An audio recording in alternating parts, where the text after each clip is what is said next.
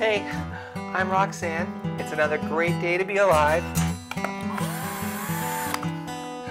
I'm just finishing putting up my curtains here. Welcome to the Practical Girls Guide to Power Drills. If there's only going to be one power tool you own, it's got to be a power drill. Why a power drill? Well, you're going to get more use out of a power drill than anything else. Whether it's putting up a shelf or hanging a picture, this is the tool I have. And girls who don't have the hand strength that guys do, well, they can do a lot more good screwing with a power drill. and I'm going to take you through all the pluses and minuses of power drills. This is a little light duty 4 volt drill. This one's one of my favorites, a compact 12 volt. A little more heavy duty, 14 volt drill. That's more for serious stuff. And this big mama, this is for drilling into concrete. And this one doesn't use any batteries at all. This is one of my favorite power drills.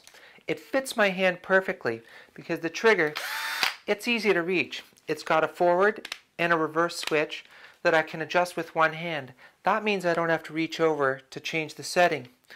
The chuck, well, it's a keyless chuck. That means I don't need to get a tool out to tighten or loosen it. Inside the chuck are the jaws and they clamp onto the bit.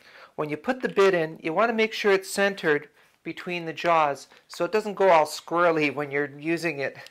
Make sure you tighten it up good. Now this one has a low and a high setting. I use low when I'm putting in a screw because it turns slower but it puts a lot more power into it. When you put it on high it turns a lot faster and that'll give you a nice clean hole when you're drilling. This has also got a clutch on it. The clutch, well, is used when I'm putting in a little screw or something that I don't want to over tighten and what will happen is it'll tighten to a certain point and then the clutch will release and it'll stop turning any further. So I'll show you how that works. I'm going to turn it on low and I'm going to see?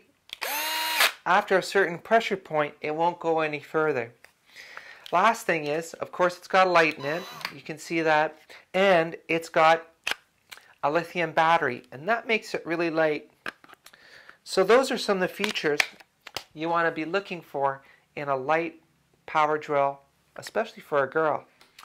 One last word on power and batteries.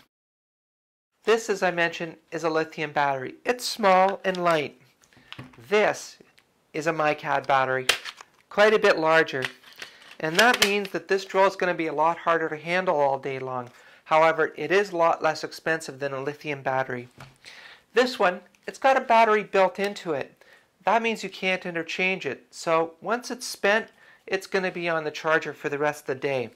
Of course, there are drills that are smaller than this that you can plug in the wall.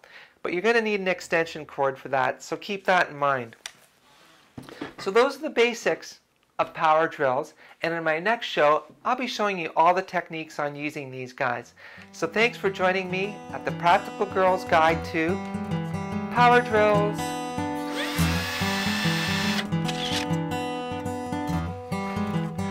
Whatever you do, do not get on a step ladder with high heels. Why a power drill? A lot more good screwing with a power drill. Among all these drills, a low-powered hammer drill